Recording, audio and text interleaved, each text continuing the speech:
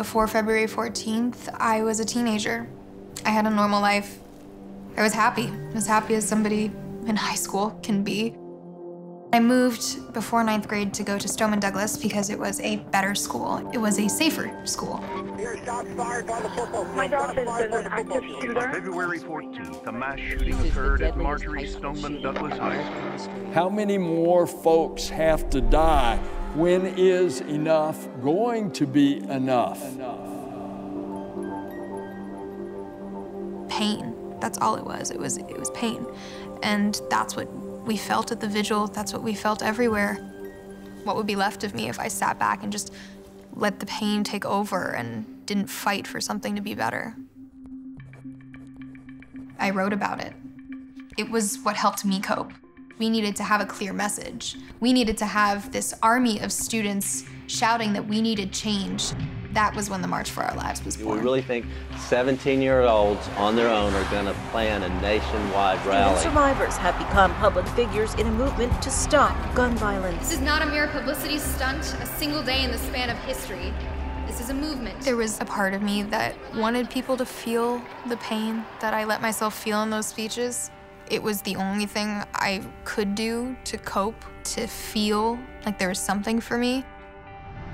My life can never be anything like it was before that day. Every ounce of childhood in me was taken.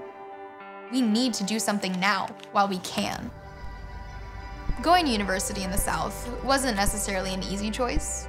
It's really important to be in a place that maybe doesn't feel the same way as I do a lot of the time.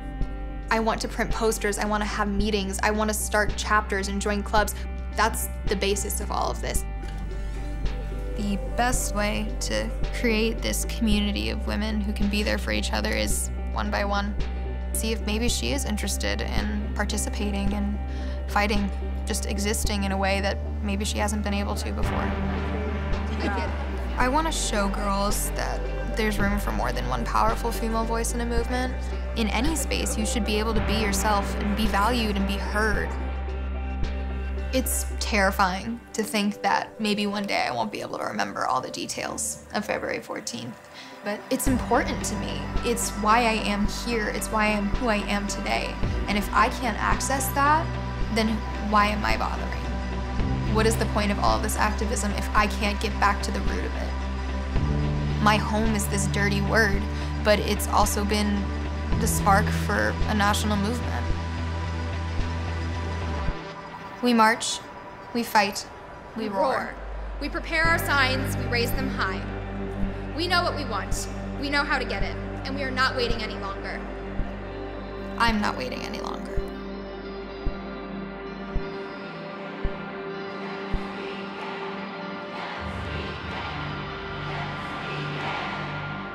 I'm Delaney Tarr, and this is how I shape my world.